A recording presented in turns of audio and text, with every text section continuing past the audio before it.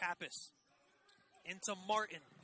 Malik Martin to McClary for the tie is good. Diamond top of the key. Gonna flip it out to Papas. Three for the Monmouth. Lead is good for George Papas. Ice water from George Papas. What a shot. Brandon, Fofana, and Green. The inbound to Green. Clock running now. 10 on the shot clock. 15 seconds left. Turning the corner. Off balance jumper is good. Magis. by Stewart. Goes by Shinnery, knifes inside, good feed, and just get out of the way. Get out of the way. Here, being guarded by Kobi. Bounce pass now to Camper.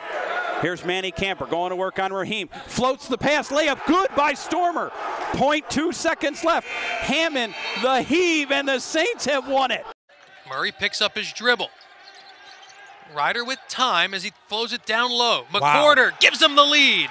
Getting all the attention that Murray garners. However, you said this earlier, Eddie O. His strength with the basketball. He didn't panic, able to make a good solid pass. Diallo trying to get the rebound he does is fouled. Count it for Samba Diallo, the birthday boy. Here's Kobi against Manny Camper. Takes along the left side, spins in the paint, goes back the other way, off the window. It rolls down. It drops in for Kobi Nwandu. Four, eight to the hole, puts it up, no good. Rebound Papas and Papas from the length of the court in and out. From the length of the court in and out by Papas. And we're going into overtime. Unbelievable. Papas, I think it would have counted.